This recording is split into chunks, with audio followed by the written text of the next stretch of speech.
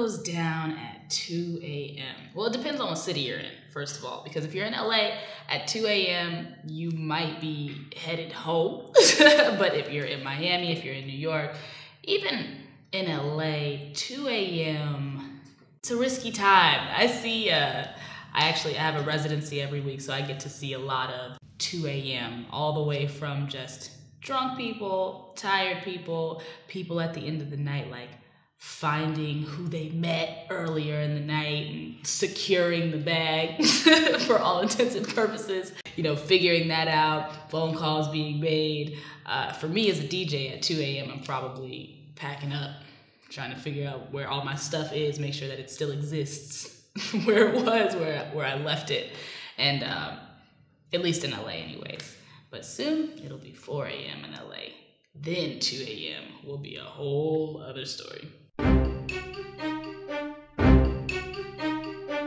But yeah, definitely just people talking to you, people hitting on you, people. Oh man, last week it was crazy. The end of my gig, this guy, I mean, people are dancing their hearts and souls out, which is my favorite. It's the reason why I even DJ in the first place. This dude, there's in this club, there's these metal tall poles. This dude is so lit and happy that he climbs the pole. like, and everybody in the club is like, what is happening? And here comes security rushing in, like, get down from there. But he's like, having a great time on this pole.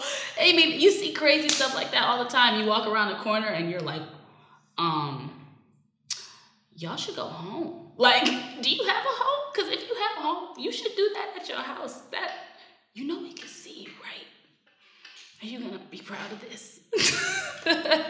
you know. At 2 a.m., I'm super. So I, I figured out strategically how to neutralize the situation of guys being outlandish. So what you do especially at 2 a.m., is a guy walks up to you, he's about to start talking to you, and you think you can have a feeling discernment about the fact that he's about to say some crazy, wow, whatever. And they're like, hi, my name is da I'm like, hi, you know, da da da da. So now you're like killing them with kindness. They're a little confused by it, okay? And then what you do is you walk away pretty quickly, like da da da. Did you have a good time? And they're like, yeah, I had a great time. That's dope. That's really dope. I'm really happy to hear that. And you touch their shoulder and you squeeze it, not a rub, just a squeeze. It's almost like a parent. you don't know what to do. And the guy is usually just standing there like, well, she wasn't mean. I still don't have her number.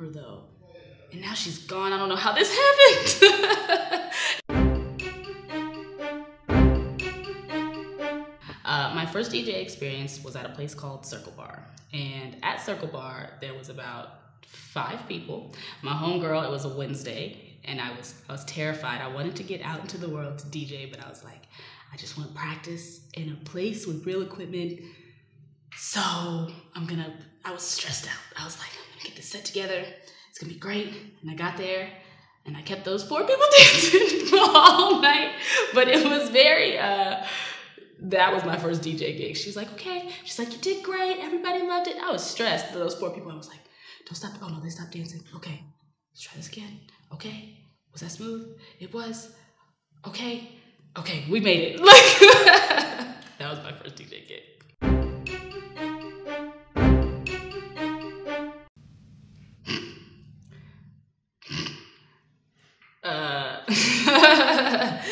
Y'all really. This is like. This is like. I was not expecting these questions. I have to admit. Uh, the worst late night text I've ever gotten from a guy. Can we work it out? nah, man, this is over. What are you talking about? Can we work it out? You can go work out at the gym. That's what you can go do. Probably BET experience, to be honest. I always have a mic at all of my gigs, but I feel like BET experience was the most interesting because it was thousands of people and keeping them engaged and also calling people up on stage. I I emceed an entire concert. It was like Beyonce's artist, and it was Jack. What's his name now? Jacquees. Now he's like legit, but at the time I was calling him Jackases. And this young this young lady was like, "That's not his name." From, from off the stage, I was like, "Oh, oh his name is Jack Jacquees and he's sexy. I will never ever forget this moment because I was like, my bad. His name is Jack Jacquees. He walked up to the stage. And uh, so that was probably the most interesting. I've, I've done a BET experience for three years now, actually. And it's just a lot of, a lot of energy, a lot of people, a lot of interaction, and a lot of pressure to make sure that people stay up and stay on. Hard being in a relationship as a DJ?